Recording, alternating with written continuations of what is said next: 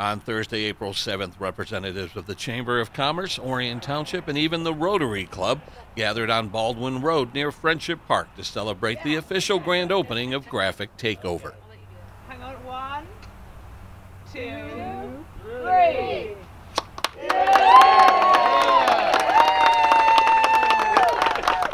I can't even put into words how, how much they've done to support uh, me and Graphic Takeover, uh, just businesses in general. It's it's great because it is a, a second family to me the way they support us.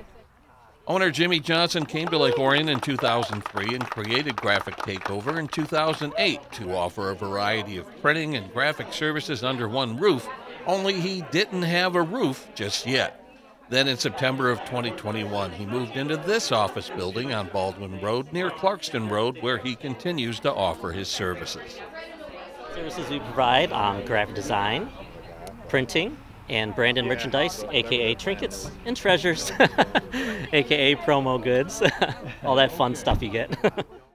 Jimmy also is the creator of Where Living is a Vacation, a website and social media presence where he shares photos and tidbits about the history of Lake Orion. Where Living is a Vacation, yeah, it's a um, history. It's a history Facebook page, and Where Living is a Vacation.com. It's all based on Lake Orion history, little tidbits of uh, what happened here, what happened there, and the story behind it. And it all started just as like a passion project of something I want to have a creative outlet for, and and it's evolved from there. It's people started liking it and like, oh, share more. So it's it's been great. For more information, visit graphictakeover.com or search for the Graphic Takeover page on Facebook. In Clarkston, this is Joe Johnson reporting for ON TV News.